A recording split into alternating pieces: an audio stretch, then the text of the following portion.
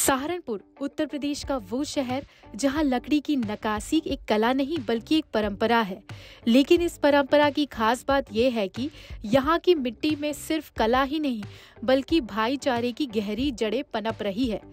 जी हाँ सहारनपुर की पहचान न सिर्फ़ लकड़ी के बेहतरीन काम से है, बल्कि यहाँ के कारीगर की सोच भी उतनी ही सुंदर और मोहक है। सहारनपुर के लकड़ी कारीगर, जिनमें 90 प्रतिशत मुस्लिम समाज से आते हैं, सालों से हिंदुओं की आस्था के मंदिर तैयार कर रहे हैं।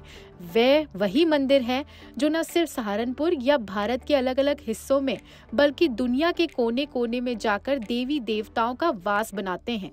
हर मंदिर की मांग होती है, हर मंदिर की अपनी खासियत होती है और हर मंदिर की अपनी कहानी होती है। इन मंदिर को तैयार करने के लिए शीशम, सागवान और नीम जैसे बेशकीमती लकड़ियों का इस्तेमाल किया जाता है, जो नकाशी के ज़रिए एक खूबसूरत रूप लेती है। ये नकाशी है जो एक साधारण लकड़ी को एक पवित्र मंदिर में बदल देती है। इस कला को संजोने वाले कारीगर बताते हैं कि वह पिछले 15 से 20 सालों से ये काम कर रहे हैं। और हर बार जब वे एक नया मंदिर बनाते हैं तो उन्हें लगता है जैसे वे खुद भी किसी पवित्र कार्य का हिस्सा बन रहे हैं। जी, नफीस अहमद। हमें तो हो गया तीस पैंतीस साल हो गए। जी। अच्छा लगता है। हाँ। बस फ़िलहाल तो मंदिरों ही कर रहे हैं। जी।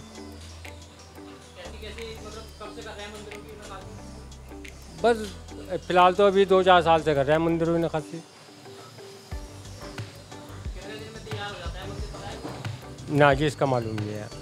सहारनपुर का ये लकड़ी व्यापार अब एक अंतर्राष्ट्रीय स्तर पर पहचान बना चुका है। यहाँ से मंदिरों की मांग सिर्फ़ भारत में नहीं, बल्कि विदेशों में भी होती है। और कीमत की बात करें तो यहाँ पाँच सौ रूपए से लेकर पचास हज़ार रूपए तक के मंदिर बन जाते हैं।